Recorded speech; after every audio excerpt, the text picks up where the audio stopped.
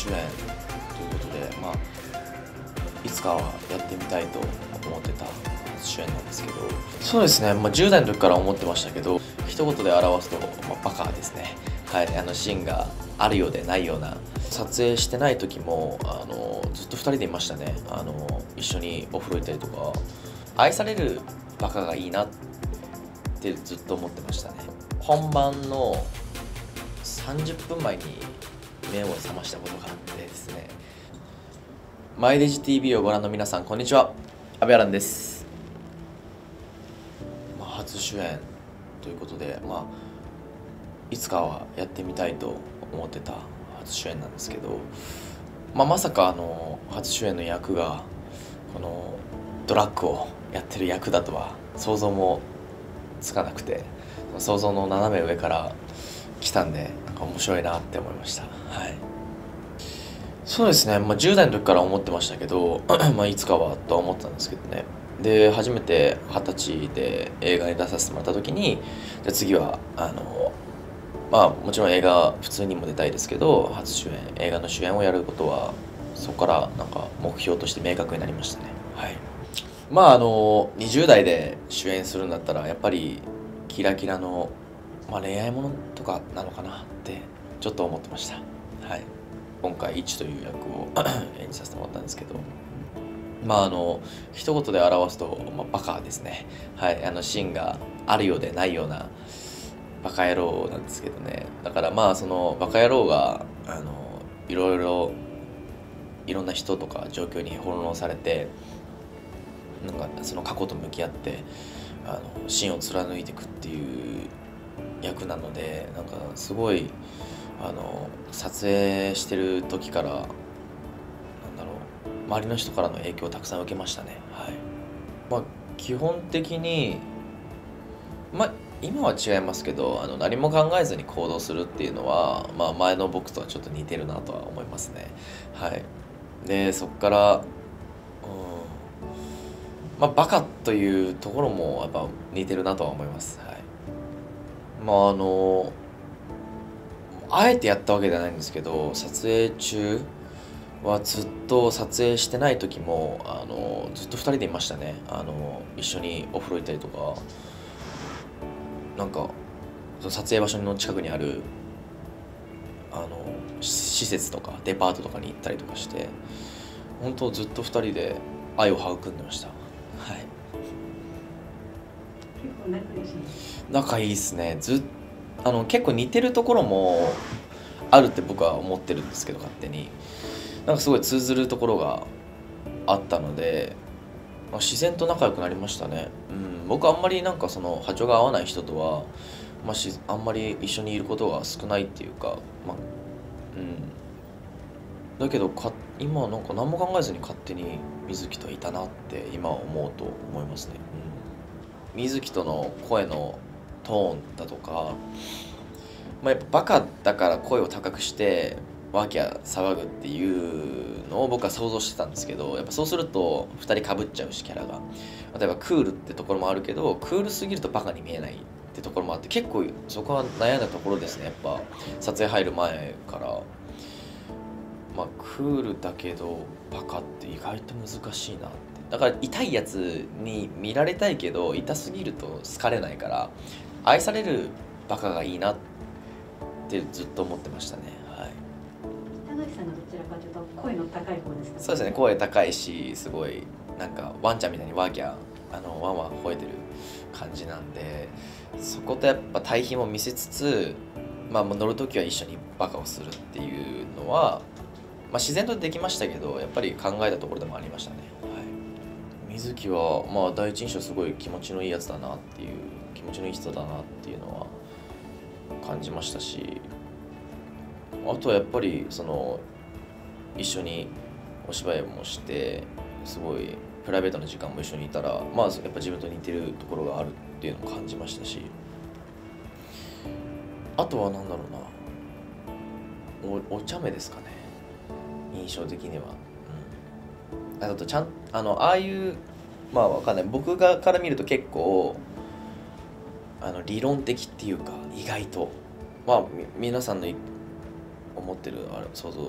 分かんないとか分かんないんですけど意外となんか物事理論的に考えて感覚派に見えて理論派なんだなっていうのを感じました。撮影は本当楽しかったの一言に つきますね。まあもちろん学びも多かったんですけどあとはその水木にも救われましたしその本当現場のスタッフさんにもたくさん支えてもらって一緒に一つの作品を作ることができたなって今思うと、はい。まあ、具体的に言うとまあ僕と水木は基本的にリハーサルと本番やっぱりなかなか同じことができなくてまあダメなんですけど本当は。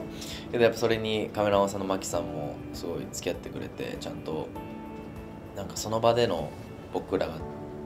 の中の出た雰囲気とかをちゃんとカメラで押さえてくれてで監督の藤沢さんもそこは全て許してくれて、まあ、リハーサルよりも本番の方が良かったらそれでいいとやっぱ言ってくださったんでなんかそこの雰囲気がスタッフさんも一丸となって作れたのがやっぱこの作品に出てるっていうかやっぱりこの作品も先がの展開がわからない作品なのでなんかすごい作り込まれてるとあんまりなんだろうな先が読めちゃうっていうか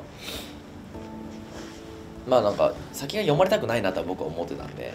なんか何が起こるかわからない撮影だったっていうのも良かったなと思います、はい、お仕事関係で言うとあの本番の30分前に目を覚ましたことがあってですね。で本番の15分前に入って本番出たことがあってそれはギリギリでしたし僕らが一番後輩だったんですよその時のお仕事。であともう大先輩しかいなくて。あの時はほんとしびれましたね。だからあの時があったから今なんかそれなりのことが起こってもそこまでなんかびっくりしないっていうか結構あそこがギリギリだったなって思ってます今でも。間に合って何もなかったようにできたすっごく謝りました。だけどあのステージからステージだったんですけど何もなかったようにできました。だけどやっぱ裏では本当に全員に謝りに行って、うん、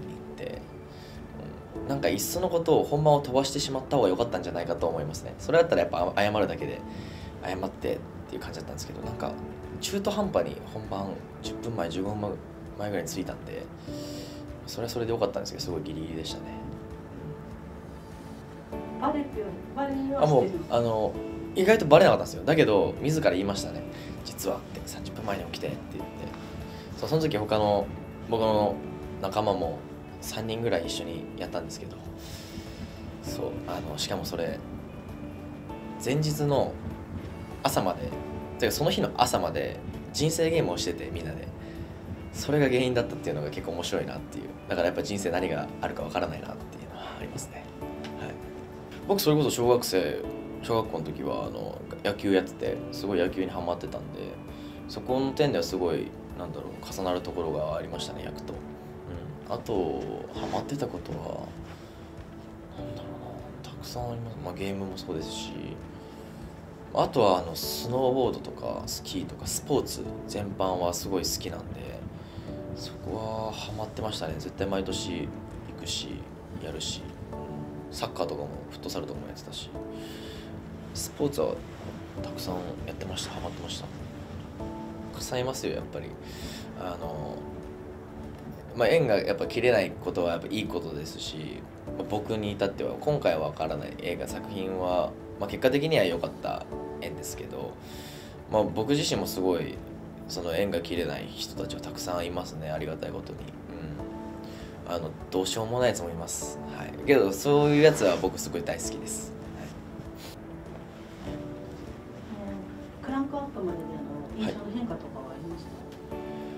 その最初はやっぱ人見知りっていうところも人見知りっぽかったところもあって静かなのかなとか思ってたんですけどまあその会う頻度が増えるにつれたくさん喋るし人と話すのが好きなんだなっていうのも感じましたしそこから変わってないですね。常にその先の展開が読めなくてあの本当一瞬一秒も気が抜けない見てるこっちも気が抜けない作品になってると僕はすごい感じたので、うん、あとはもう何も考えずにもうスラッと見てバカだなとか面白いなとか気持ちいいなって思える作品だと思うのでまずは何も考えずに一回スラッと見てもらえると嬉しいです、はい。映画「2アウトフルベース」ぜひご覧ください。バイバイ。